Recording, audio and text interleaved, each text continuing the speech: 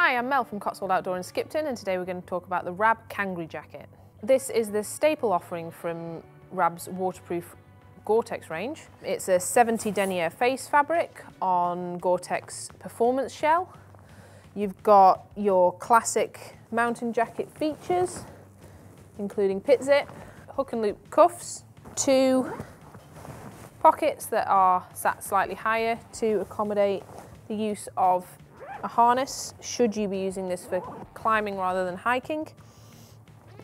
A really nice chunky toggle on your zip so that you can operate it easily with gloves on in the winter.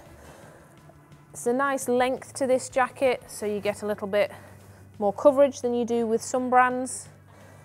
Got adjustability at the hem, a nice deep hood with a wire stiffened peak. This is adjustable at the back of the hood as well as the sides. Finding the push button sewn into the side of the hood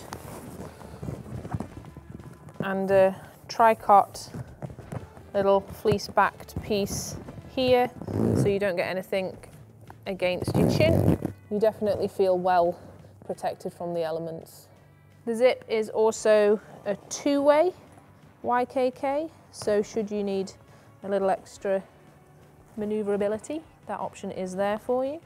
The face fabric on this jacket is 100% recycled, which is a great eco credential for them. So this is a really great mid-range waterproof jacket.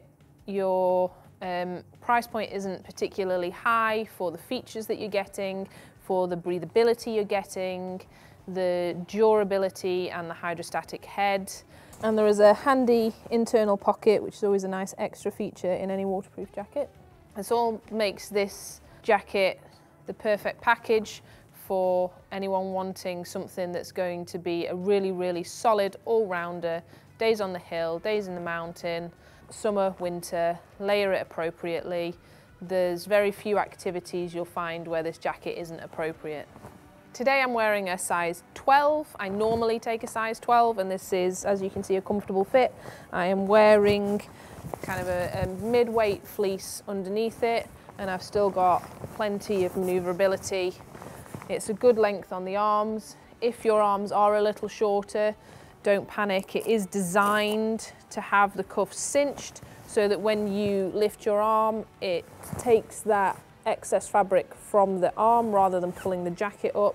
So when you're clambering over stiles um, or whatnot, you're not going to find the jacket riding.